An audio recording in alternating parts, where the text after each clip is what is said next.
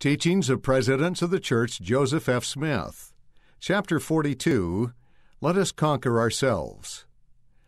Lasting happiness is derived not from gratification of our physical desires, nor from worldly pleasures, but from virtue, purity of life, and obedience to God's laws. From the life of Joseph F. Smith. During his administration from 1901 to 1918, President Joseph F. Smith became increasingly concerned about the encroachment of worldly influences into the lives of the Latter day Saints. He was not blind to the worldly ways around him.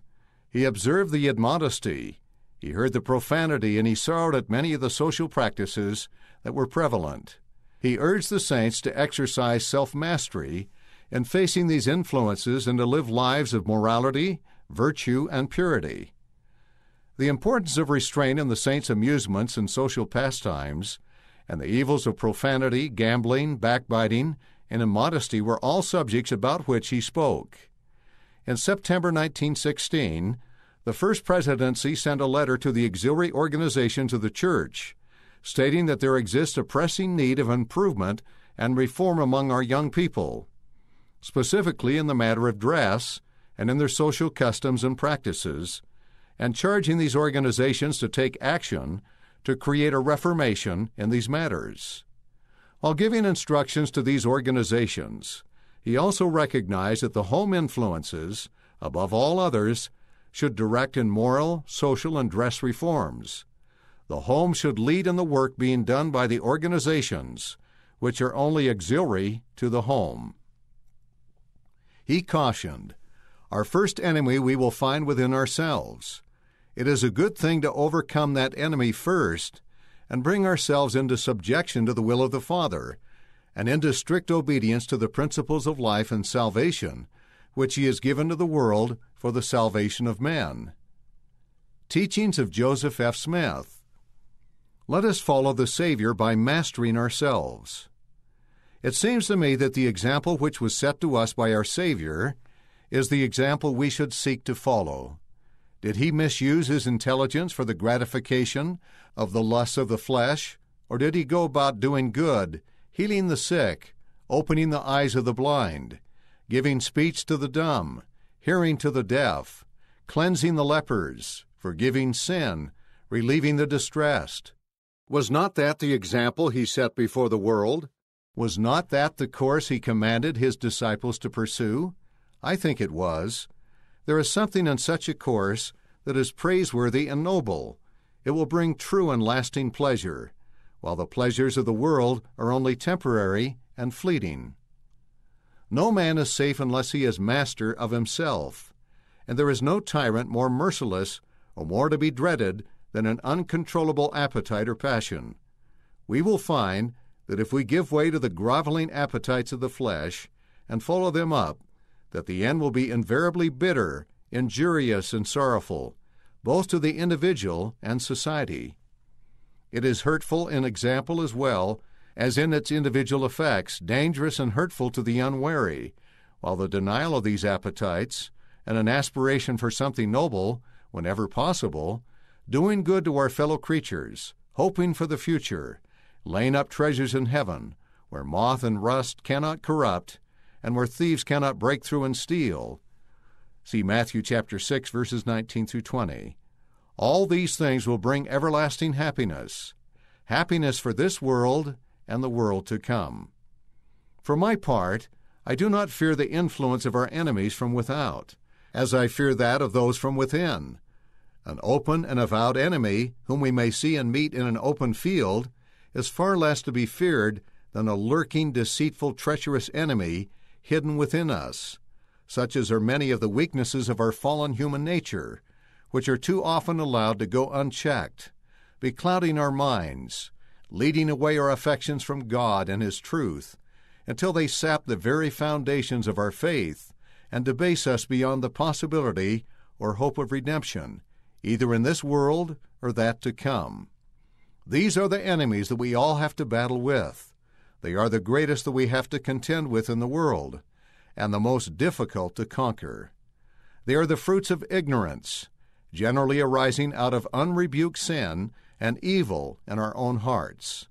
The labor that is upon us is to subdue our passions, conquer our inward foes, and see that our hearts are right in the sight of the Lord, that there is nothing calculated to grieve His Spirit and lead us away from the path of duty.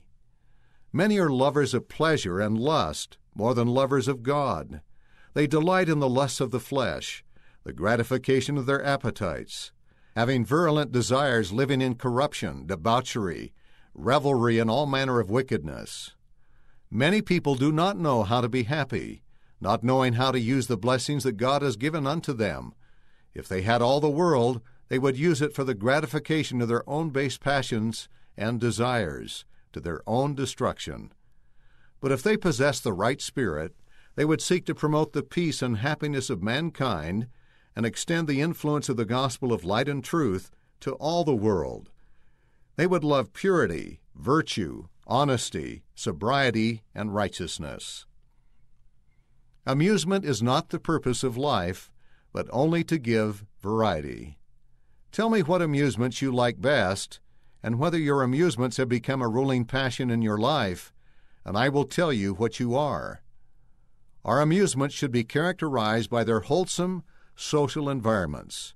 We should have proper regard to the character of those with whom we associate in places of amusement and we should be governed by a high sense of responsibility to our parents, to our friends, and to the church.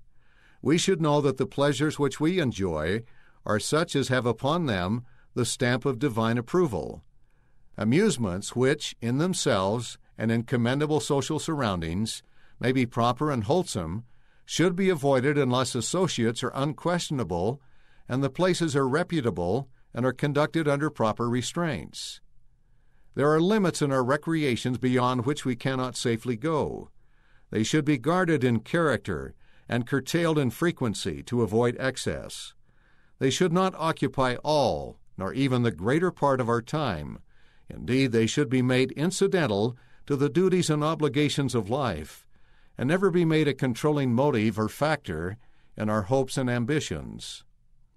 All excess is detrimental. Temperance should govern in everything. Amusement is not the purpose of life. It should be indulged in only by way of variety.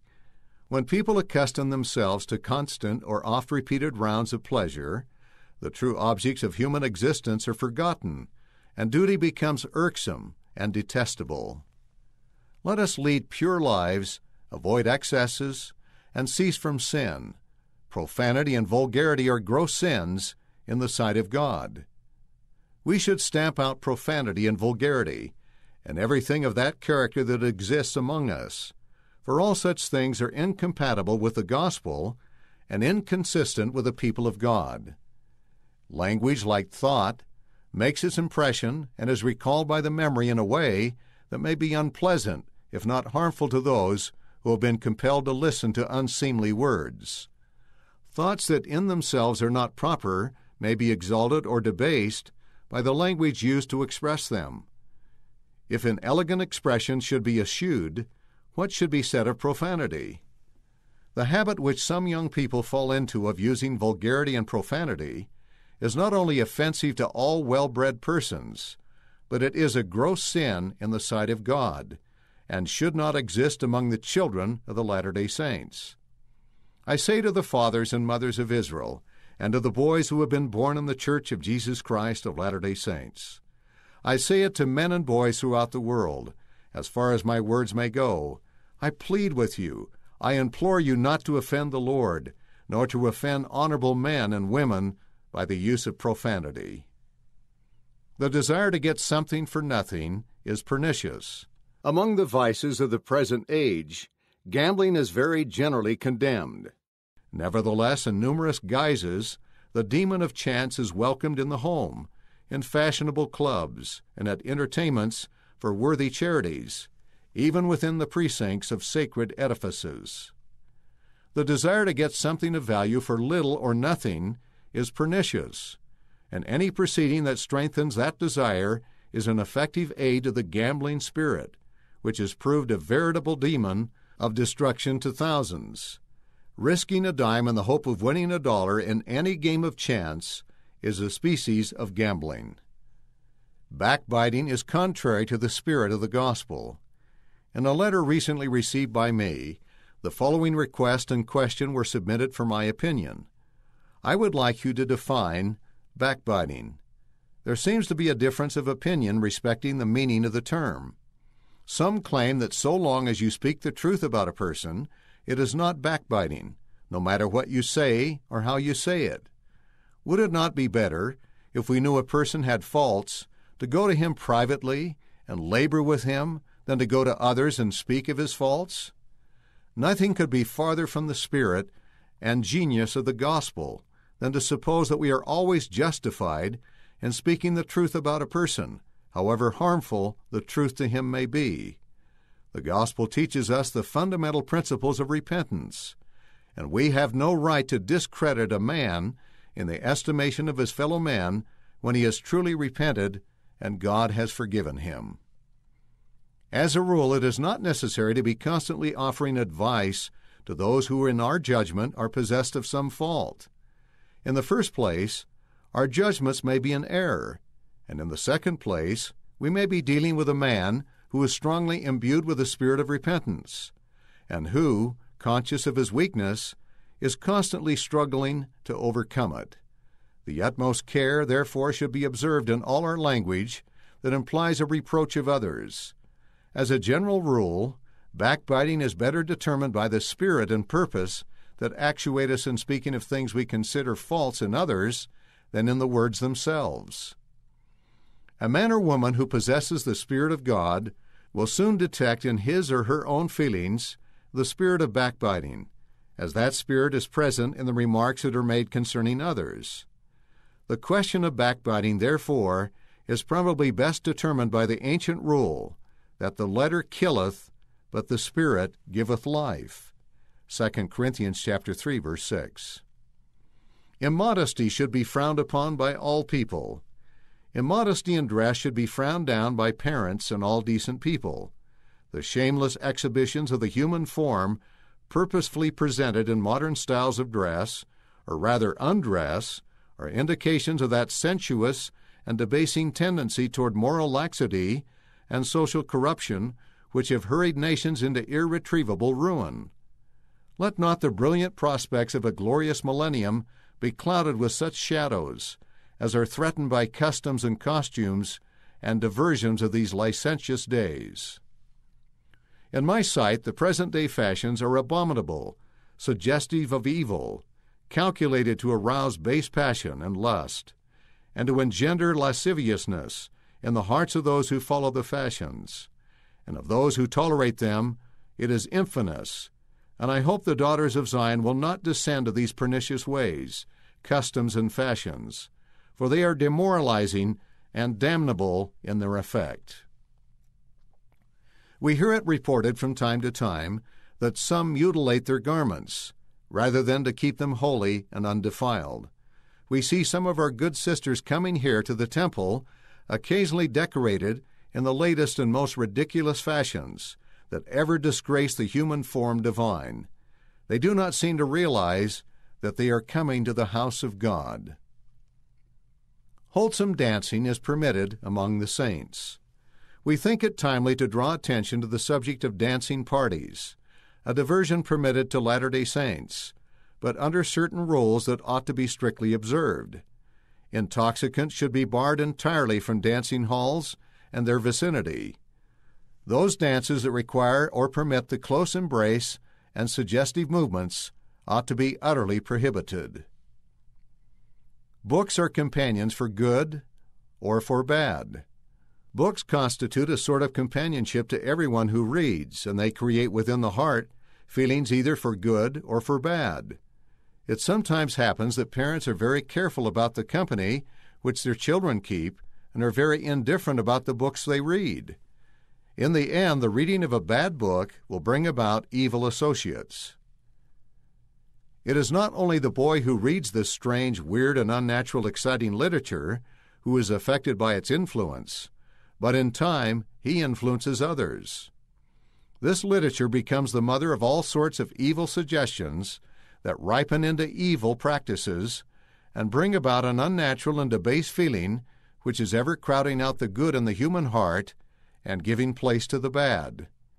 When our children are reading books that are creating strange and unusual and undesirable thoughts in their minds, we need not be surprised to learn that they have committed some unusual, some strange or unnatural act.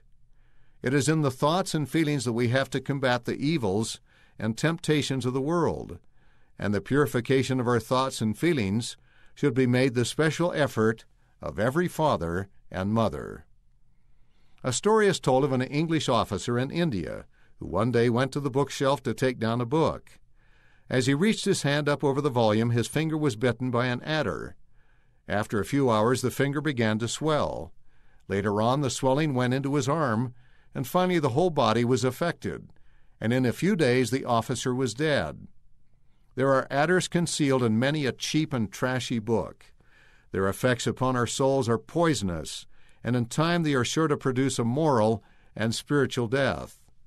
Let the saints beware of the books that enter their homes for their influences may be as poisonous and deadly as the adder which brought death to the English officer in India. What manner of people ought we to be? It is only by obedience to the laws of God that man can rise above the petty weaknesses of mortality and exercise that breadth of affection, that charity and love that should actuate the hearts and the motives of the children of men. The gospel, as it has been restored, is intended to make people free indeed, free to choose the good and forsake the evil, free to exercise that boldness in their choice of that which is good, by which they are convinced of right. Notwithstanding the great majority of the people of the world may point at them the finger of scorn and ridicule. It requires no especial bravery on the part of man to swim with the currents of the world. The Lord bless you, my brethren and sisters. We endorse any movement looking to temperance, looking to virtue tending to purity of life and to faith in God and obedience to His laws. What manner of people ought we to be? What manner of individuals should we be? Should we not set an example worthy of our profession? Should we not live pure lives? Should we not be upright, virtuous, honest, God fearing, and God loving in our souls every day of our lives and in every position in which we may be called to act? Ought we not to set an example for good? Ought we not to be Christ like, manly, true to every principle of the gospel, and honorable out in the world and at home? That is indeed the kind of people we ought to be. God help us to be such, is my prayer. Suggestions for study. In what ways did the Savior set an example of self mastery? What is the enemy we will find within ourselves? See Mosiah chapter 3 verse 19. How can we follow the Savior's example in conquering this enemy? When we are not masters of ourselves, how can we hurt ourselves and others? When we are masters of ourselves, how can we bless others? How might amusements become a ruling passion in our lives? How might they reveal what we are? What role should amusements play in our lives?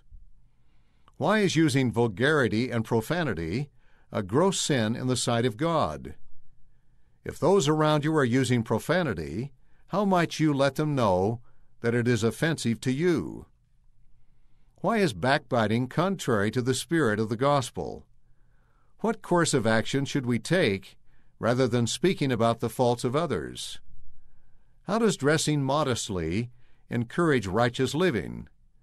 How can some of today's fashions be suggestive of evil and demoralizing in their effect? How does President Smith's counsel about books apply to today's entertainment, such as video presentations, music, television, movies, magazines, and the Internet? See also Doctrine and Covenants, section 88, verse 118. In what ways is bravery required if we are to swim against the currents of the world? How would you answer the question, What manner of people ought we to be? See also 3 Nephi, chapter 27, verse 27. End of chapter 42. Let us conquer ourselves. Teachings of Presidents of the Church Joseph F. Smith.